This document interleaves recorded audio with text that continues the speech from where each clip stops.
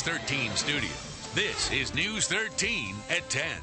Welcome back to News 13 at 10. Well, expecting a baby can be an anxious time for parents, but new technology is helping ease patients' minds. News 13's Jessica Foster tonight tells us about innovative patient monitoring in our modern medicine report.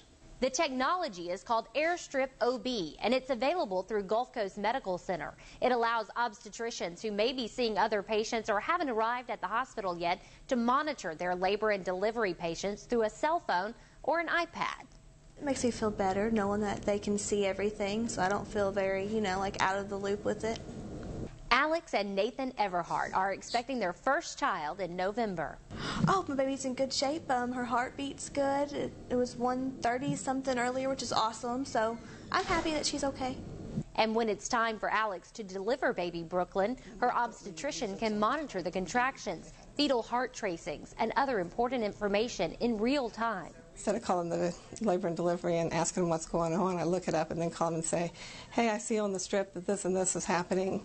Uh, let's make some changes. Dr. Deborah Edgeworth says this is better for the patient, the baby, and the nurses monitoring the patient. I've been doing labor and delivery for nine years, and uh, during that period of time, there's been times when I really wished that I could send the physician a picture of what's going on. Patient care is equivalent to what's happening that minute, not what was happening five minutes ago or 20 minutes ago or even an hour ago. And that time can make a big difference if complications arise.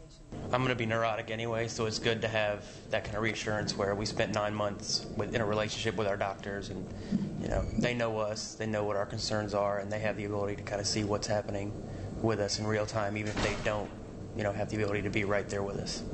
The Airstrip OB is secure and requires a password for the doctor to be able to access the hospital network. News 13's Jessica Foster. Authorities in Atlanta arrest